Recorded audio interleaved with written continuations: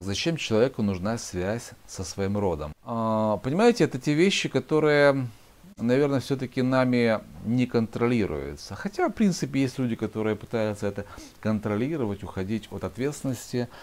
А я считаю, что мы как-то неправильно, наверное, все-таки ассоциируем себя и род. Мы ассоциируем себя как э, с, некой, с неким древом, да, э, где существует некое поколение людей, которые значит, э, и бабушка, дедушка, мама, папа, там женская, мужская линия. На самом деле мы должны брать немножко, э, или копать, вернее, глубже. То есть мы все здесь, на этой Земле, то есть Земля это фактически планета, э, или пространство для, идеального опыта. Опыта, который мы никогда не проходили. Если мы не берем в учет наши тела, берем наши души, то мы все пришли из каких-то планет, с каких-то систем звезд. Э, почему? Потому что там была дана команда, что появилась такая Земля, которая обновилась, у нее есть идеальные условия, плотная энергия, где можем проверить свою духовность, накопить э, свой опыт, который нам необходим для э, значит, будущих манмантар.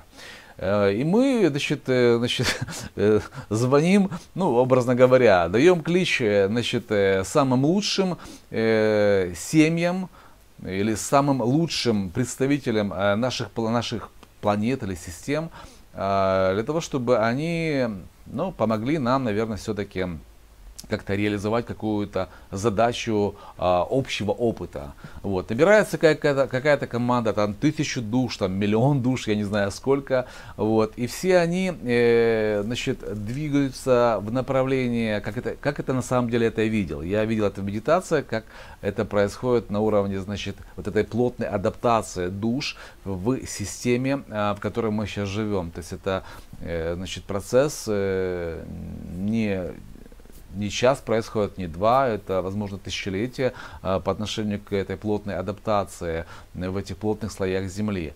Поэтому семья – это род, это множество душ, которые пришли из наших планет или из нашей планеты, которые несут в себе вот это вот семя, или задачу семьи, которую мы должны активировать в условиях земной адаптации. В наших генах прописаны все эти процессы, вся эта информация по отношению к тому, а что мы должны сделать.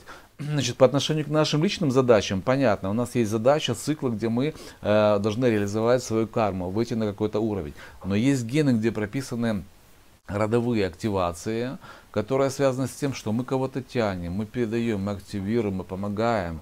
И это правильно, потому что мы на уровне коллективного бессознательного это единая движущаяся творческая энергия. Э, что касается уже воплощения в тело, понятно, мы что-то отдельное, индивидуальное, которое имеет право там, развестись, жениться, выйти замуж, убить. Э, за все это нужно будет отвечать, понимаете? Поэтому на том уровне мы все едины. Если мы говорим, допустим, о том, чтобы как-то э, активировать процессы выхода из, э, э, как это сказать, родовой ответственности, ну, мне, мне так кажется, что это, знаете, как вот раковая клетка, которая э, что-то там себе возомнила, она что-то себе надумала, что она ну, не хочет больше тянуть на себе какие-то э, родовые программы, она пытается сама жить, она пытается как бы вот выйти на духовные просторы или уровни самостоятельно, она как раковая клетка пятится назад. Из системы, выходит из системы, не понимая того, что род это Бог, это целостность, которая дает, возможно, этому человеку и жизнь, дает определенные активации, мотивация. И в тот момент, когда человеку сложно, возможно, род помогает на тонком уровне, через сны, через тонкий процесс этому человеку. Но человек почему-то думает, что